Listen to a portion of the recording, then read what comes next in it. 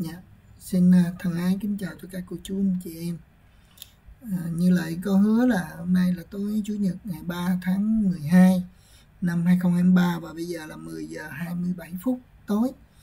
Thì um, uh, trong 3 ngày qua từ ngày 1, ngày 2, ngày 3 thì không có cái khoảng dân nào hết là xin chiếu ở trên màn hình đây. Uh, và lại xin đọc cái lời mà lại đã viết xuống ở đây Dạ, xin ờ, khép lại phần kêu gọi giúp đỡ gia đình vô cùng khó khăn. Xin hãy nhớ đến gia đình này mà cầu nguyện. Vì có một lý do hết sức đặc biệt lại xin phép không nói tên, nhưng Chúa biết rõ. Cầu xin Chúa ban phước lại bội phần hơn cho quý ân nhân đã dân Chúa giúp đỡ cho gia đình này.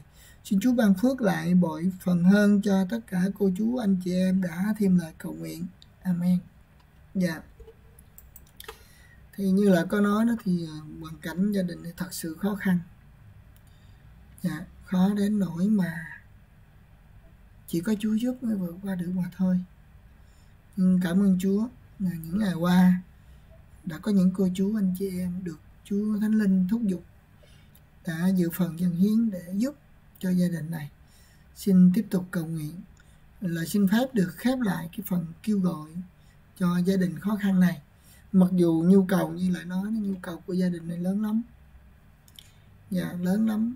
Dạ, cho nên à, nếu như trong tương lai cô chú anh chị em nào có được chú cho xem cái phần video này video trước của cái ngày là kêu gọi rồi cảm động mà muốn giúp thì à, xin liên lạc với lại số điện thoại của lại là 098 68 68 322 là ở Việt Nam.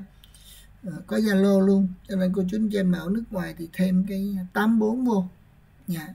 thêm cái mã quốc gia Việt Nam đó thì ờ, sẽ ờ, liên lạc được với lại cảm ơn Chúa.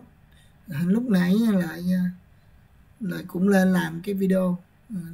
Ở trong cái chương trình này nó có hai cái chỗ bấm ghi. Thì một cái là ghi lại thành file và một cái là ghi nhưng mà ghi ảo thôi.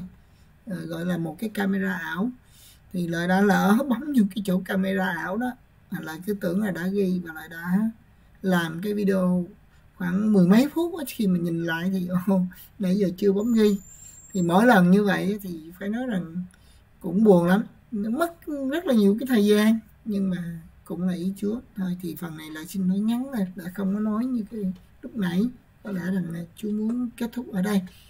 Cho nên là xin phép được cầu nguyện ở trong lúc này là Chúa dấu của chúng con. Con cảm ơn Chúa vì Ngài còn yêu thương, Ngài còn sử dụng con một việc rất nhỏ ở trong công việc Chúa giao. Để con làm cái cầu nói, để kêu gọi, để dẫn ơn phước của Chúa đến cho những người khác. Làm cầu nói, kết nối, tình yêu thương. Con cảm ơn Chúa. Con xin phép khép lại phần kêu gọi này. Mỗi tối con sẽ không có kêu gọi về cho gia đình này nữa. Do vậy Chúa biết khi nào ai cần điều gì. Và Chúa biết có những người nào muốn dân hiến, Chúa biết có những người nào cần sự giúp đỡ. Thì xin Chúa cho kết nối chúng con, sử dụng chúng con. Con cảm ơn Chúa, xin Chúa ban phước lại bội phần hơn cho những cô chú anh chị em con. Những người có thể nói như người đàn bà quá vậy. Không có phải có nhiều tiền, sống bằng sự trợ cấp của con cái sự giúp đỡ của con cái nhưng vẫn sẵn lòng dâng hiến cho Chúa. Xin Chúa ban sức khỏe, xin Chúa ban phước hạnh, xin Chúa ban niềm vui cho các cô chú anh chị em con. Con tạ ơn Chúa, con cầu nguyện nhân danh Chúa Giêsu Christ. Amen. Cảm ơn Chúa, cảm ơn cô chú anh chị em đã ừ, chịu khó xem cái phần video này của lại Dạ, cũng như là nó có cái lý do đặc biệt lại không có nhắc tên chứ không phải là không muốn rõ ràng đâu. Dạ, mai mốt lại sẽ làm những hoàn cảnh khác một cách rõ ràng thì cô chú anh chị em sẽ thấy.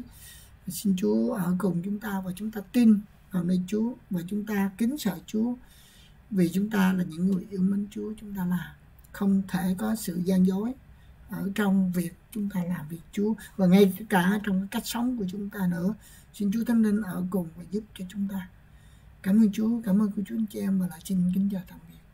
Amen.